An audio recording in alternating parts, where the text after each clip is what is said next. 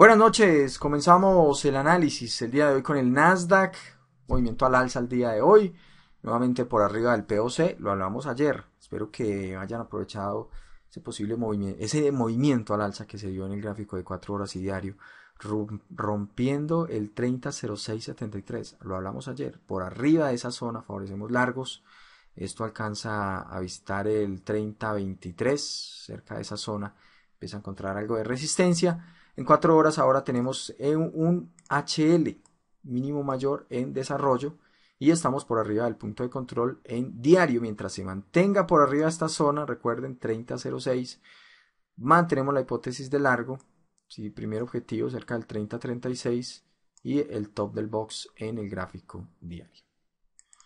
Bueno, y por su parte el índice alemán nuevamente eh, encontrando demanda en el gráfico diario, visitando muy cerca la parte inferior del box.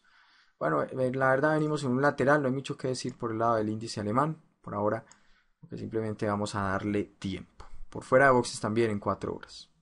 Bueno, ¿y qué opinan del euro? Miren donde se detiene el precio, punto de control en el gráfico semanal, nivel eh, clave de resistencia 1.3043, vela de rango amplio el día de hoy, lo hablamos ayer el euro tenía mucho potencial alcista, espero hayan aprovechado eh, esos movimientos al alza. Ayer hablábamos del desarrollo de mínimos mayores, quizás un retroceso un poco más profundo para favorecer largos. Ahora, muy cerca de, bueno, en zona de resistencia semanal, es a esperar posibles retrocesos. Tenemos una hipótesis al top del box, cerca del 29.90 puede ser. 1.29.90 una posible oportunidad para entrar largos en el euro nuevamente. Estaremos atentos. Creo que podemos tener un objetivo a la zona de alto volumen a precio, cerca del 1.30.75. Así que ya saben entonces, a esperar retrocesos, retrocesos comprables en 4 horas para el euro. Ojo, mientras se mantenga por arriba del top del box. De fallar, pues cortos nuevamente por debajo del 29.21 parte inferior del box en 4 horas.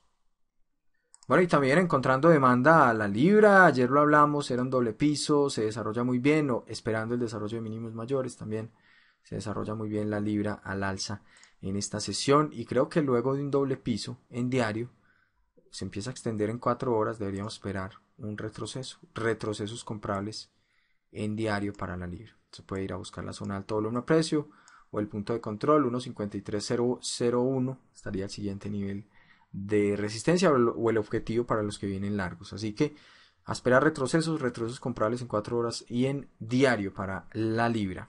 Bueno, y encontrando demanda también el día de hoy el australiano, algo de consolidación, movimiento lateral, no hay mucho que decir, vamos simplemente vamos a darle tiempo, creo que puede venir un rebote en la semanal, en la mensual en la diaria estamos por debajo del POC, 9684 es un nivel clave de resistencia. Por arriba de ese nivel favorecemos largos hasta el top del box. Ya saben, entonces, ojo que en 4 horas es una formación en P. Deberíamos estar esperando, bueno, deberíamos esperar la ruptura de esa zona, quizás un retroceso nuevamente a ese nivel y el desarrollo de, de un mínimo mayor o por niveles, entrada ahí al top del box para buscar el top del box diario eh, sería su siguiente nivel de resistencia. Ojo que la diaria también estaría favoreciendo largos contra tendencia en el australiano. Bueno, espero hayan aprovechado la hipótesis de ayer en el videolog. Era un máximo menor en diario, en perdón, en cuatro horas. Veníamos de un máximo menor también en diario por debajo del punto de control el objetivo, parte inferior del box 95.32. Lo que puede corregir un poco más de hecho, aunque luego de ese nivel de soporte quizás veamos consolidaciones, movimiento lateral, quizás o el desarrollo de máximos menores antes de verlo corregir nuevamente. Bueno, el canadiense lo hablamos ayer, ojo con el desarrollo de máximos menores, corrigiendo también en el gráfico diario, con espacio sigue. El canadiense, ya se llevó el pivot anterior, ojo, con espacio para buscar la parte superior del box 10262, por ahí estaría su siguiente nivel de soporte. Y en el gráfico de 4 horas tenemos una especie de formación en B que tendría espacio hasta esta zona.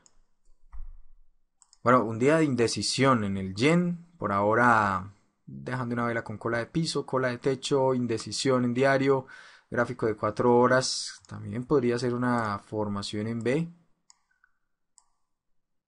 Ojo con la ruptura de esta zona, estaría activando la posible corte por debajo de estos niveles eh, para buscar este nivel, el top del box cerca del 130, 125 estaría su siguiente nivel de soporte o el top del box eh, semanal ese es el 99.93 ahí estaría su siguiente nivel de soporte mientras se mantenga por afuera por debajo de boxes en diario creo que planteamos mantenemos la hipótesis de cortos en el dólar yen bueno, el oro por su parte encontrando demanda nuevamente el oro. Hablábamos ayer de la zona de alto volumen de precios, se mantenía el precio, eh, bueno, visitando ese nivel.